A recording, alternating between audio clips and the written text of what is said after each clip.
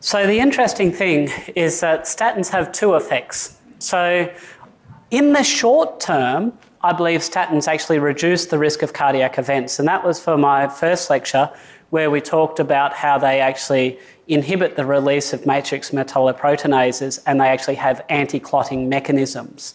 So, in the shorter term, if you take a statin on day one, it will actually reduce the risk of cardiac events, irrespective of the LDL levels. So, we know it's got nothing to do with LDL lowering at all and it doesn't take any time to come on. It happens basically as soon as you take the statin. The problem is that statins also have adverse consequences, which ultimately will, over time, continue to accumulate. And this, in my mind, is probably why long term statin studies have never been performed. Most statin studies are one or two years. I think the longest that I've ever seen was seven years, and that was quite an outlier. And my feeling for this is that the risks of taking statins are likely to accumulate and increase over time. And it would only make sense if you wanted to build a case to sell statins that you would probably do your studies short enough so that you don't actually capture that increased risk. We certainly know that factors like coronary artery calcium score, it, it's well regarded that that's a very good measure of plaque instability and cardiovascular risk. And it's also accepted that statins increase coronary artery calcium. And it's funny, you watch people tie themselves in knots trying to explain this. We know statins are good, we know calcium's bad. Statins increase calcium. Hang on, my head's going to explode. So they've come up with this term, paradoxical calcium. Now, why is it paradoxical? Well, it's paradoxical because we know it's bad, but it must be good because it comes from statins. It's just complete and utter lunacy to even think that. So, in summary, the statins have an immediate benefit in reducing thrombotic risk and plaque stabilising by inhibiting the release of the matrix metalloproteinases. But over time, the longer you take them, I believe the adverse effects are going to become magnified and accumulate. I wanted to ask if people already have diabetes, do statins make the control and the um, issues with diabetes worse? Yes. I don't want to present biased information here, so for your information, I suggest you go to crestor.com. Seriously. And in the top right of the screen, click on the prescribing information chart and then uh, do a search through that, and you'll see that statins, it, because by law they have to put this information on their website, and you'll see that statins have been associated with increases in blood glucose, and they have vague wording, you know, that may exceed the threshold for diagnosis of diabetes. Basically, uh, Crestor.com has information on their website confirming that not only do statins worsen diabetic control, but it actually causes diabetes in the first place. Interestingly, when we look at the data on uh, people's persistence with vegan style diets, that most people don't last more than four or five years.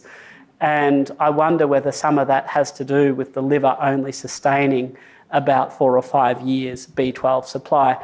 Now, given that B12 is really the only nutrient that will absolutely kill you outright if you don't have it for long enough, it certainly makes sense from an evolutionary perspective that the liver actually has a particularly long store of B12 in it. Because obviously, throughout human history, we're going to have had periods of famine, and you know sometimes there are you know humans will have had to resort to plant foods to survive not survive, not thrive, but just to survive, you know, and they'll be B12 deficient. So it makes sense that there is a, a longish store of that particular nutrient that will keep us alive, but more the particular genetics that would lead somebody to being more resilient to a B12 deficiency or iron deficiency, I don't know of. So, first of all, it's an established principle that studies that have terminated early are well known to uh, bias results and lead to false outcomes. And there's been some very prominent studies on statins that have indeed finished early. So there was, there was one study, which was the only study on primary prevention. It was supposedly a primary prevention study. Um, in actual fact, it wasn't. It included people um, who had secondary prevention features. Sorry, yeah, secondary prevention features. And so it basically wasn't what it was saying. It was. And it also, at the start of the study, the investigators uh, laid down explicit criteria at which the study could be terminated early. And, and, this is the way research is normally done, is to keep everything above board and transparent.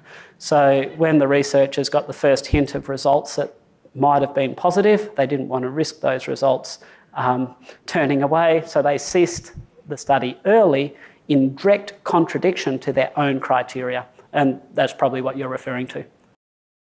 Lumbrokinase and nattokinase, these are actually basically clot breaking agents. They're designed to degrade the, uh, the clots themselves. And there are some actually, uh, I would call it preliminary or early research on these that is actually quite promising from a cardiovascular perspective.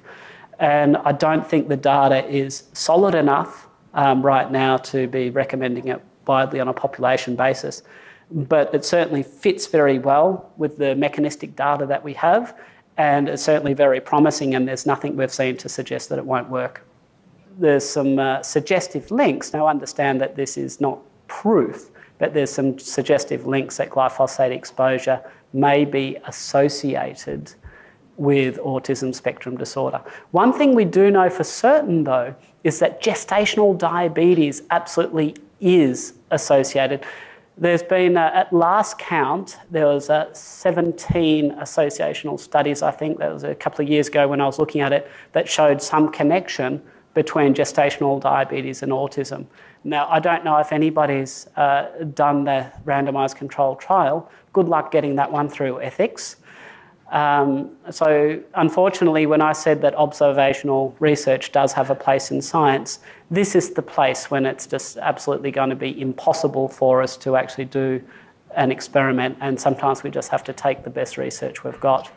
Um, but there is uh, there's a very strong signal that would be suggesting uh, gestational diabetes to be a problem.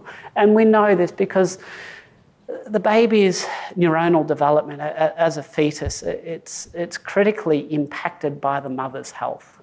And if the mother's gestational diabetic, presumably extra oxidation stress and all these other things going on, it's only logical that that would adversely impact on the development of that child. Uh, occasionally, you see people posting on social media that they've had low vitamin C. Now, the only cases of low vitamin C that I've seen in clinic have been false. Vitamin C is very unstable as a blood test. When we take the blood, it needs to be popped on ice in a certain tube, and if it's not, it breaks down, and when it gets to the lab and they look for it, they can't find it. So, every case of vitamin D deficiency that I've been presented with, I have corrected by highlighting on the blood test form, place sample on ice. Um, so that was an easy fix. Um, so vitamin C deficiency, I don't believe exists. I have actually come across what I do genuinely believe to be a case of copper deficiency in a carnivore. Now, if you actually uh, look uh, at the government website, so I was actually reading an article on this uh, yesterday, we do actually, with the nutrient depletion of soil, this does not just affect plant foods, it affects animals that are raised on those soils as well. And in large swathes of Australia, we know we have areas of copper deficiency. The same is tr- also true for boron. So, in the central tablelands of New South Wales, with the very high rainfall, that tends to deplete the soil of boron. So, I think it is plausible and I've certainly seen a case on somebody who I know was a diligent carnivore who appeared to have deficient copper levels. Now, that may have been some kind of genetic defect in the absorption of copper, or it could also have easily reflected the fact that they were diligent about only consuming meat from one particular farm. So I think uh, across the population, if you're sort of getting your, your sources of food from different localities, that will reduce the risk of that. But we know that nutrient depletion in soil is a real problem, and presumably that will also uh, transfer through the foods we eat. There's a power city of good quality randomised control trials supporting the vegan diet when we actually have a look at all the data that's saying vegans are healthier, so on and so forth, they're all observational. A lot of the research comes out of Loma Linda, which is a Seventh day university um, type uh, environment, where these people, while they, they're not vegan, by the way, the, uh, Loma Linda research um, actually allows you to have a little bit of meat and still be considered vegan. Um, it's like when you're a little bit pregnant, I guess. And um, so a lot of the research on vegans is going to be, uh, you know, needs that qualification. We also understand this healthy user bias. You know, these people, they're not drinking, they're not smoking, and they're probably leading cleaner lifestyles. The interesting thing is, there is a similar population that we can compare vegans to. They're called the Mormons. The difference between them and the Seventh day Adventists is that they eat meat. And in actual fact, the Mormons also, when we look at this observational data, which again doesn't prove anything, but the observational data shows that they appear to be as in equally good health as the Seventh day Adventists. So it would seem that the, the meat doesn't really have a role there, but the, in its entirety, the data is simply lacking. There's certainly a decline in performance during the keto adaptation phase. So what most people assume, we, we conflate the rates of beta fatty acid oxidation with keto adaptation. So we, we do these measures and we say, well, you're burning fat at you know, two grams a minute, you know, you're, you're fully keto adapted. And that's not true. The ability to consume the energy resulting from that extra fat that you're burning requires uh, is another phase. So we have ketone transporters, MCT1 transporters, that take a while to upregulate speaking to Professor Grant Schofield, um, and he's got some uh, world-class triathletes under his um, under his mentorship, and he's observed benefits prolonged up for eight, even 18 months after people go on those diets. I generally see that most of the benefits sort of peak out at about three or four months, but it's certainly longer than the two to six weeks that people commonly cite.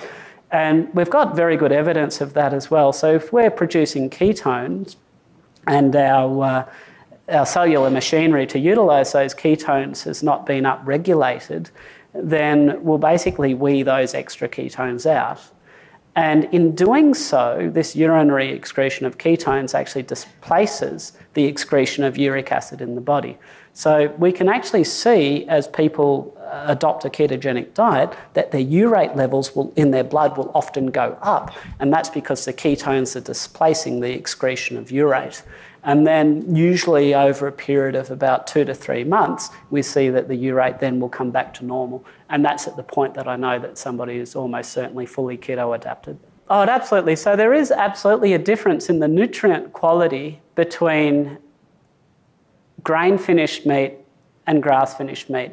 So, that includes DHA. So, uh, DHA, about 3% of the fats. Um, in beef can actually be DHA, which is pretty good. Um, vitamin K2, another nutrient essential for health, absent in plant foods, can be found in grass finished meat. Vitamin D, so a very interesting story about vitamin D. So, the feeding of uh, cattle in, uh, in lots was only really possible in the 1970s when they discovered the ability to inject vitamin D into cattle. Um, so when the process of photosynthesis, uh, cattle will be able to get some vitamin D presumably through the grass and their normal feed like that. But when you replace that with uh, grains, they're not getting that vitamin D. So the ability to have cattle being fed grains long term was only possible once we started injecting them with vitamin D3.